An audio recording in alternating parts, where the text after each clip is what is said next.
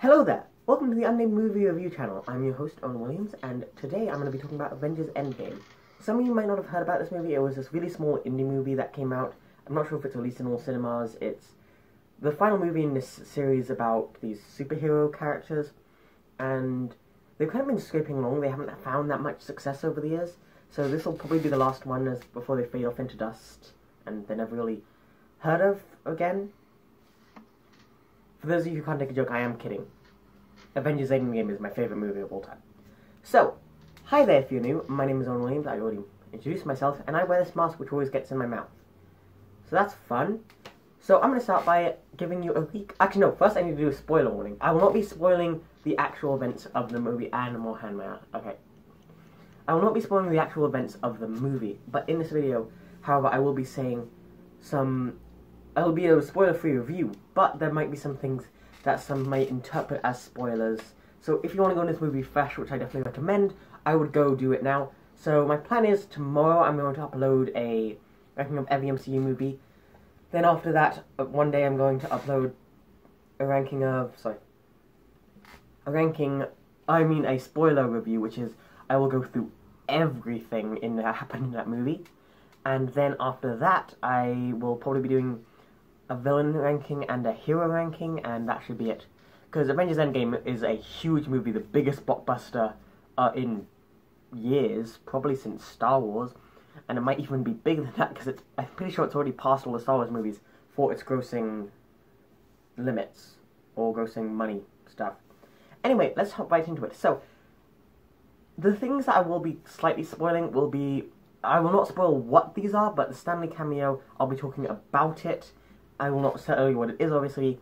Any end credit scene, again, I'm not going to tell you what it is, but I will be talking about it slightly, so some people may think that, oh, he might spoil it, so then you can go if you want to do that.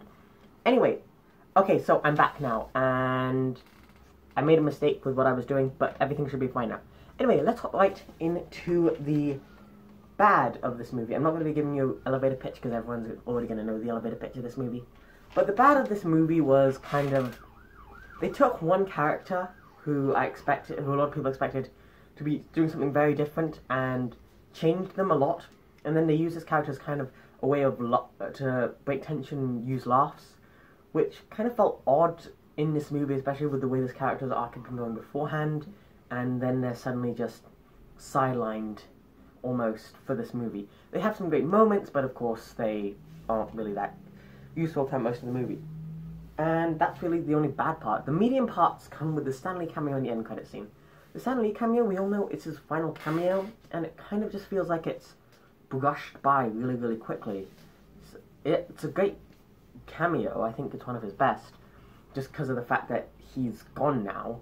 But and may he rest in peace. But it just kind of felt almost ignored throughout the course of the movie. I was hoping for something bigger to be his cameo. And the other bad part was the end credit scene, which just felt lackluster, and that's how I'm going to leave it. Anyway, um, let's move on to the good, and the good was everything else about this movie. The music choices were amazing, the character arcs were incredible.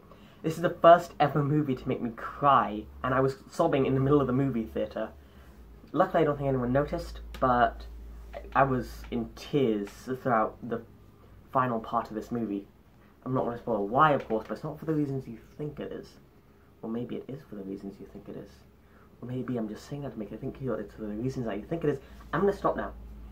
Anyway, and the there were great character arcs, there were great moments for every single character. Every character has some standout lines. Characters who have been sidelined off through the rest of the MCU had these moments to jump out and really shine for everything else. And I could go on for hours about it, but I don't want to. There were just so many great sequences in this movie, I absolutely adored it. So that's why I'm really going to leave it. For people who enjoy this movie, absolutely everyone, and comparing this against the last movie we saw on the channel, which I think was Triple Frontier, Triple Frontier doesn't even hold a candle to this thing. This movie was so much better than that. So anyway, I think that's why I'm going to leave it. Um, I hope you've all enjoyed this video, and if you did, leave in the comments down below what your thoughts on Endgame were, I'll be giving out my ranking tomorrow. I hope you have a great day. I will see you on the next one, and Owain out. Goodbye.